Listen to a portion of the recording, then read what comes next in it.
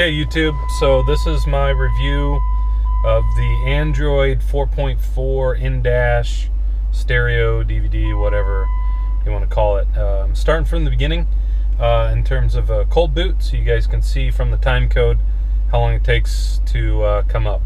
So um, while that's doing that, I'm going to shift into reverse and just show you real quick that uh, it will go into reverse even though the unit's not booted up completely, so that's pretty cool. You don't have to wait uh, wait for it to boot uh, if you've got a backup camera. So um, there it's basically up. Uh, obviously hasn't started yet. Any anybody using Android knows that uh, there's some startup processes and all that stuff that happens. So um, while that's finishing, let me talk a little bit about uh, this unit. This one is a 6.95 inch from uh, the retailer is Pumpkin, but uh, it's actually a Klyde unit or KLD.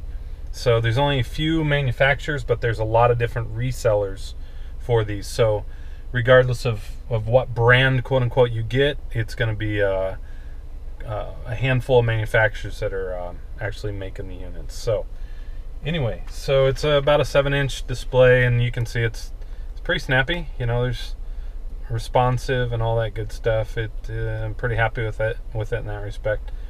Uh, there are some of my startup uh, items. So let me go through real quick what I've got going on. We saw the backup camera. Uh, I've also got a, a, dash cam going on. So and that's what you see up here. It's it's currently recording. So if I go over and find the app, it's called DailyRoads that I'm using. So um, pull that up here. It takes a second. So this is the DailyRoads. Uh, I don't know if you call it a widget, I guess. Uh, so anytime it's recording, it'll show this. So if I find some video that I want to retain, I can just click that. I don't know why it's not coming up. Usually comes up a lot faster than that.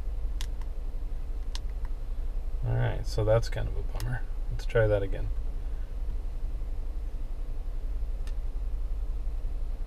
Hmm. Alright, well, we'll come back to that in a second. Uh, usually that works well. So, oh, it's not booted, that's why. So, it's com probably competing for some resources. Uh, while that's going on, there's a an SD card slot here for the GPS card, or whatever you want to put in it, but that's a GPS. Another one here. Um, this one happens to be a 64 gig uh, micro SD. Um, so officially, all of these units and, and Android in general, I believe, have a 32 gig uh, limitation, but that's it's not really real. As long as you can format your SD card in FAT32, you can go um, a lot larger than that. I don't know what the limitation is personally, but it's uh, certainly a lot bigger than 32 gig. This one's a 64, just uh, for reference. So, um, uh, again, we've got uh, torque. You know, I'm sure a lot of you are familiar with this you can pick whatever dashboard you want and put uh, you know gauges and displays and all that good stuff on it. These units, these uh, Android uh, car stereos, are a little bit picky about what OBD2 adapters you get um, if they're Bluetooth. Uh, I think if they're USB, you probably don't have much of an issue, but uh, if they're Bluetooth, they are a little picky. So I'll put a link on my video to the one that I use. Uh, works really well. You can see connects really fast. Um, so, and you know, I run the revs up, you can see that you know it's working just fine. So that's uh, that's that um, for internet connection. So you can see that uh, I've got my my weather can actually hold on. It's probably oh no, that's cool. I thought maybe it was connected to my home Wi-Fi, but it's not. It's connected to the mobile. For mobile internet access, so I can use Google Maps for navigation and get weather updates and that sort of thing. I uh, I use uh, um, Freedompop. Uh, I forget what it is, but it's a Overdrive is basically their um, um Wi-Fi hotspot, and I think I paid 25 bucks for the hardware, and it's three dollars and 99 cents a month for 500 meg of data. So it's not a whole lot of data, but I use uh, a firewall or Android firewall to manage what applications can or cannot connect to the internet. So I've basically just pared it down to a few apps that I want because um, obviously lots of other Android apps will run in the background and try and you know ping the internet all the time and just gobble up that data behind the scenes. So I save it for my maps. I save it for weather updates, and I'll show you another app that I use um, quite a bit that I I have internet access for. So maps um, works pretty well. You can see if I go and look for a Starbucks. Uh, you know, there it is. Let's see. So there we go. So maps finding Starbucks and obviously it's like any other Google Maps that you use on a on an Android device. Yep, we got that. So one thing I'll point out real quick is by default these this the resolution on these units is is kind of um, coarse, right? It's not they're not super good uh, for running apps, and a lot of apps aren't built to run in uh, in the landscape mode. They most of them assume you're running on a phone. So uh, I'm running a pre-rooted ROM here, and I can put a, a, a link to that too in the comments. But um, I've added the Xposed framework. So anybody that doesn't know about that, there's a there's a framework which is is really just a uh, module that allows you to plug in all kinds of different modules. So here's the framework Xposed. You guys can Google this and figure it all out. But I've got a few modules installed that let me tweak my uh, my Android experience, and one of those is app settings.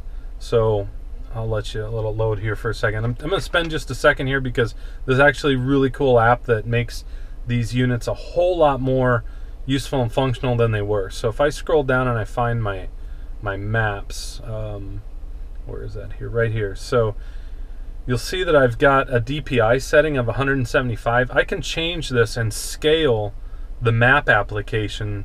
Uh, I haven't. I can have a unique scaling for each application. In this case, Google Maps, I'm using 175.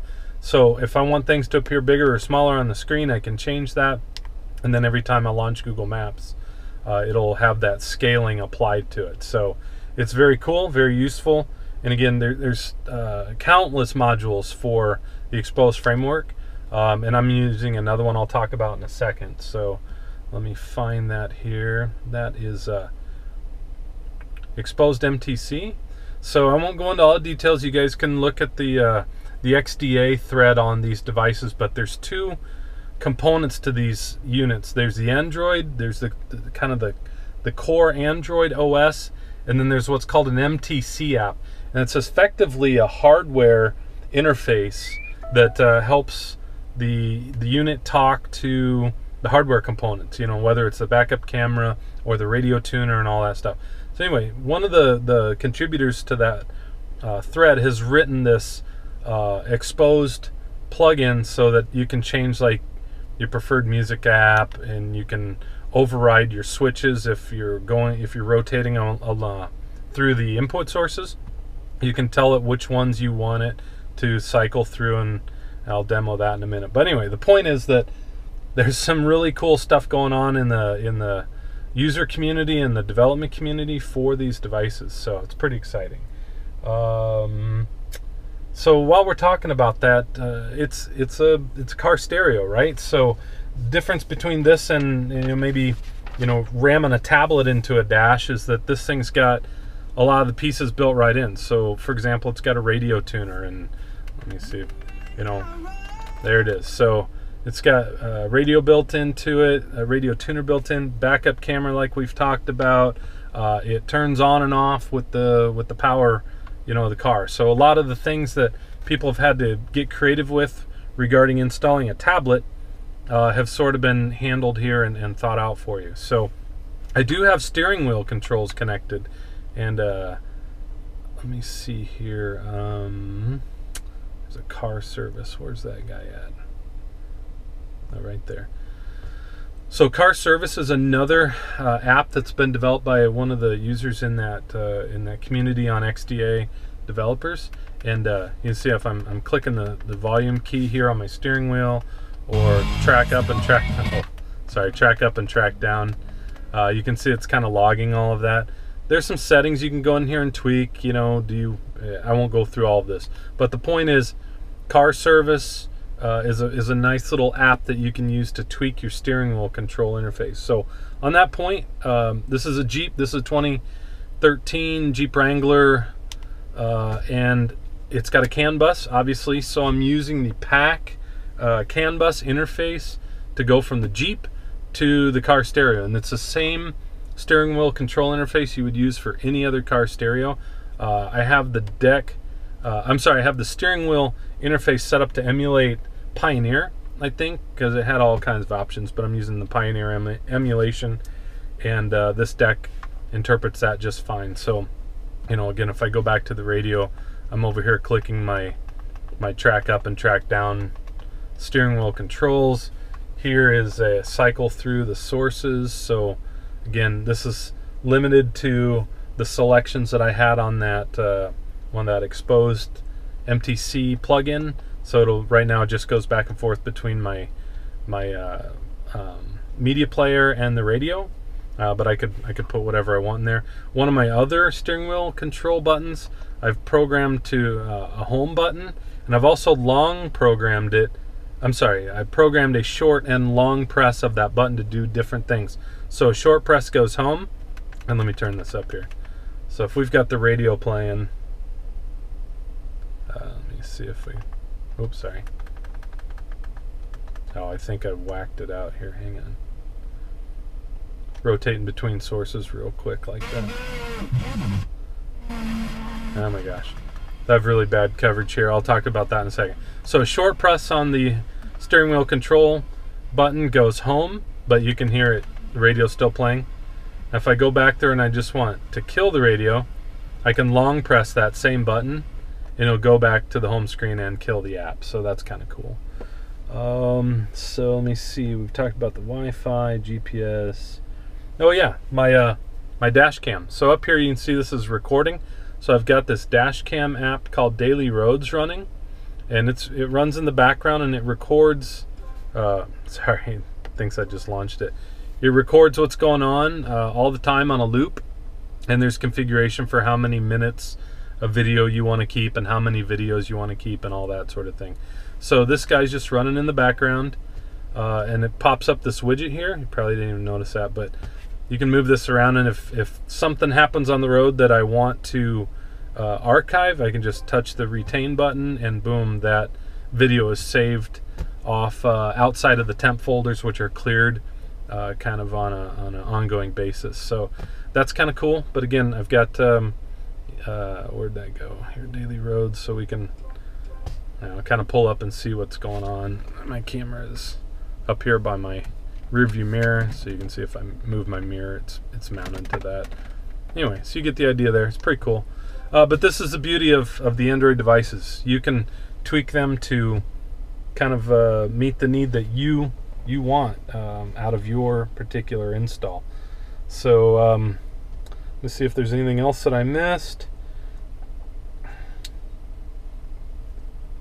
Oh yeah, Tasker. Very cool app. If you don't have it, you should get it. Uh, if you don't know what it is, it's basically just a an app that lets you set up all kinds of actions and activities based on events that happen, whether it's the uh, Android OS booting or another application starting or shutting down or whatever. It's just rules based, and you can do all kinds of cool stuff with it. This is what I use to launch my uh, my dash cam recorder in the background so I don't have to remember to do that every time I hop in the car. It's just done for me. So anyway, this is just a quick review. If you have any questions, leave me a comment. I uh, hope this helps some people out see what these things are all about and um, and uh, kind of get the word out. It's pretty cool stuff. So enjoy and uh, drive safe, everyone.